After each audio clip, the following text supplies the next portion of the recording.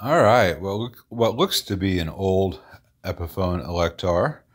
If it's one of the newer ones, I'll be uh, surprised. Very Art Deco. Owner says amp keeps blowing its fuse. I see a, flash in the 5U4 rectifier each time. Put in a new 5U4, a new 4 amp fuse, fired it up, and the same thing happened, so the problem is deeper than the tube. I agree. Let's see what's going on. All right. Epiphone, New York, Zephyr.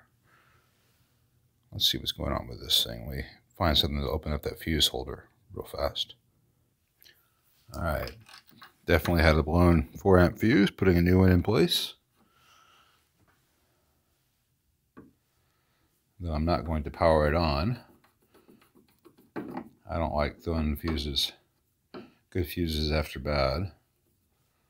But I need to have a fuse in there for test purposes. And this is one of those lovely devices where most of the amps down here Oh, it got dark, didn't it? Let's fix that. All right, try this again. So it's one of those amps where uh, the control panel is up there, speakers in the middle, and all the big stuff is down here. So let me remove this cabinet. Oh, great, flathead screws. This will take a minute. Okay, I got a nice old Jensen Alnico. It is a uh,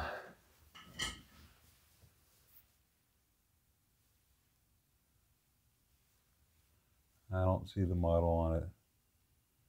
The concert series.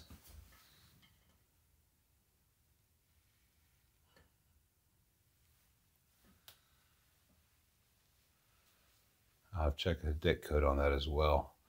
But that, that can wait. Let me get the chassis out. I see some old caps.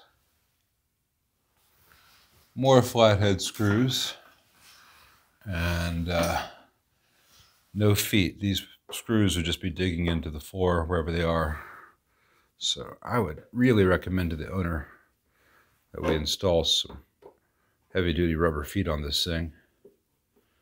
So if you ever want to play on a hardwood floor, uh, it's easier on the hardwood and it will sound better if you're not vibrating on some metal.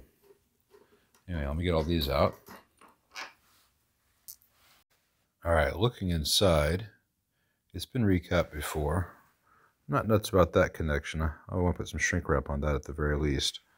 But overall, the work is pretty good.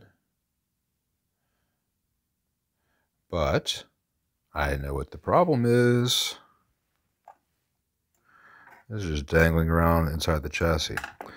What this is supposed to be, when it's mounted here, is a big high wattage variable resistor. It measures 500 ohms. I don't know what the wattage yet. I'll have to find that out. I imagine it's fairly substantial, but it has broken off its uh, connections. Um, and so it was just kind of flopping around in here. And this part right here could easily touch the chassis or the screw. In fact, it wants to rest against that screw. And this red wire is taking the, the uh, B plus, the DC, uh, off of the rectifier tube. And normally, when this is mounted correctly, I don't know if it's, I guess it's mounted this way, or maybe I have to have been this way. had some tension on it, might be why it broke. Think of this as a gigantic, very high wattage uh, potentiometer. It's a variable resistor is what it is, which is what a potentiometer is, only instead of having a thin uh, copper trace that you slide a, a, thin piece of metal along. It just has exposed winds on this wire wound resistor and this band, which has a little uh, uh, divot in it, uh, makes contact, and you just slide it around to get the resistance relationship that you want. And I measured it. This one's 230 ohms on this side and 283 ohms on this side. Oh, there broke off. That's fine. It, it was going to have to be redone anyway. Um, so I'm going to slide. I've written down what it was at before. I'm going to slide this down, see if I can get a wattage off this.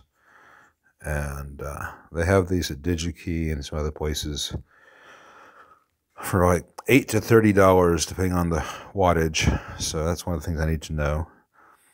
And uh, I'm not nuts about this part in general because it's yes, it's variable. You can set this. The owner is not going to do that, and I don't think uh, techs will do it very often.